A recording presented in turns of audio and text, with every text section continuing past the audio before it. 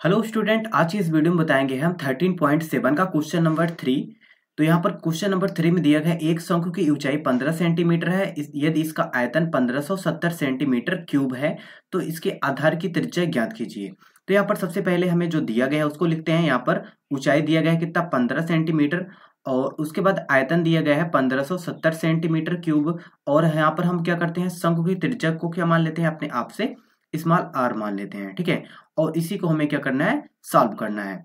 तो यहाँ पर पहले लिखते हैं फार्मूला। यहाँ पर शंकु का आयतन जो होता है, वो कितना होता है? एक बटा तीन, एक बटा तीन पाई आर स्क्वायर एच। ये इसका फार्मूला है आयतन का। तो यहाँ पर आयतन जो हमें दिया गया है, यहाँ पर रखेंगे। आयतन के स्थान पे कितना रखेंगे? पंद्रह सौ सत्तर रखेंगे। और यहाँ पर एक बटा तीन और पाई के स्थान पे तीन दशमलव एक चार, क्योंकि पाई का मान कितना होता है? तीन दशमलव एक चार। और यहाँ पर गुड़े में कितना है? आर स्क्वायर, यही हमें पता करना है। और गुड़े एच एच का मान क्वेश्चन में दिए गए हैं पंद्रह। यहाँ से तीन से एक कट जाएगा। तीन पचे कितना होता है? पंद्रह होता है।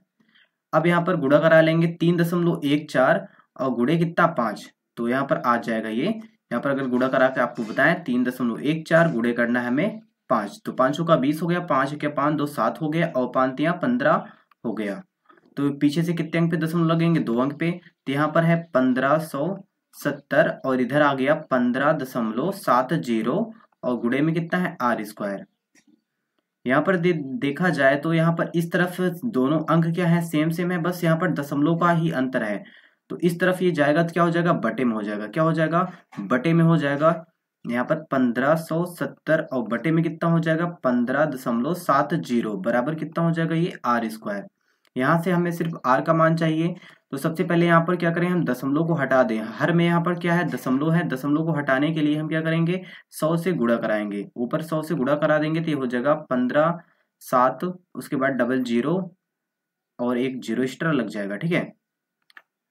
क्योंकि यहाँ पर एक ज़ीरो पहले से था, दो ज़ीरो लगा देंगे, यानी कि हमने क्या कराया, सौ का गुड़ा करा दिया। और यहाँ पर सौ का भाग कराएँगे तो ये दशमलव क्या हो जाएगा, गायब हो जाएगा यहाँ से। और यहाँ पर बचेगा आर स्क्वायर अब यहाँ पर भाग कराएँगे तो ये पूरा कितना आ जाएगा? सौ आ जाएगा। तो आर स्क्वायर बराबर सौ आ गया तो यहाँ से दिस इंप्लाइड एट आर बराबर कितना आ जाएगा? दस आ जाएगा, ठीक है? आर बराबर कितना आ जाएगा? दस आ जाएगा, दस सेंटीमीटर और इसका हो जाएगा राइट आंसर